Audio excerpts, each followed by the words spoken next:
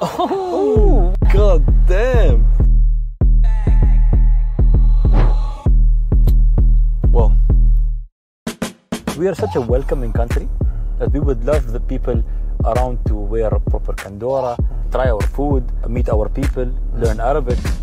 If I could choose somebody dead or alive to sit with, I would love to sit with Sheikh Zayed. He was our father. He is our father. He will always be our father. I can't thank my leaders enough for giving this all to us. So I deal in uh, luxury watches, I deal in car trading, and I do real estate brokerage. So what's this one? Here. We're having uh, dinner, and then you just dealt like a Rolls Royce. Yeah, it was a Cullinan. See, if you love something, no, you can do whatever you want. It's a city of dreams, man. It really is. It's a land that offers you opportunities every single day. Now, if you are able to catch that opportunity, you're smart. Yeah. If you're not,